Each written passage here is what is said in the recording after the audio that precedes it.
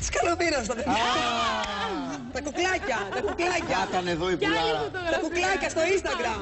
Κοίτα εδώ, τους έχει ντύσει, τους έχει πλύνει, τους έχει Δεν βάλει φοράω τους κολόνια. φακούς μου, Είναι γιατί- κουκλάκια, δεν έχει πιο ωραία. Κάτσε να τα δω από κοντά. κάτσε Λάμπουνε. να τα δω.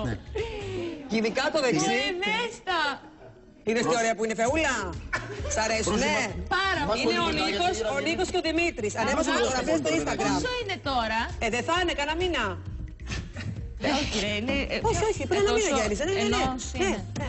Είναι αστεία. Είναι και έχουνε πλάκα. τεράστια, ε. Κουκλιά είναι. Στην καλομήρα ποιο μοιάζει, εγώ νομίζω το αριστερό. Ναι, το αριστερό. Ε, Είναι πολύ νωρίς ακόμα νομίζω για να βγάλει Αυτό πήγα να Καλέ, πω. καλέ, Δεν αφού- καταλαβαίνετε Ε, σε τι ποιον είναι, η ίδια μοιάζει τώρα. καλομήρα; Παιδιά, λίγο το θεωρώ αριστερό. ότι Το πιο τότο. κουτί τοποθέτηση που και δεν βγάζω τον εαυτό μου έξω, κάνουμε όλοι με τα παιδιά, είναι σε ποιον μοιάζουν. Δηλαδή είναι την πλακιά, ίδιος εσύ. Και μερικοί μου λένε, Συγγνώμη, θα σε στεναχωρήσω, αλλά μοιάζει στη Φέη. Δηλαδή, γιατί ναι. να στεναχωρηθώ αν μοιάζω στη Φέη, ας πούμε; Ε, Δηλαδή, Γιατί το λες αυτό, εγώ είχα είναι πάρει. κουτό ρε Φέη. Ναι, μοιάζει, εγώ ναι. Δηλαδή και ακόμα εγώ και το παιδί σήμερα- καταρχήν, ένα από τα εγώ παιδιά είναι ακόμα γη και όποιον και και να μοιάζει.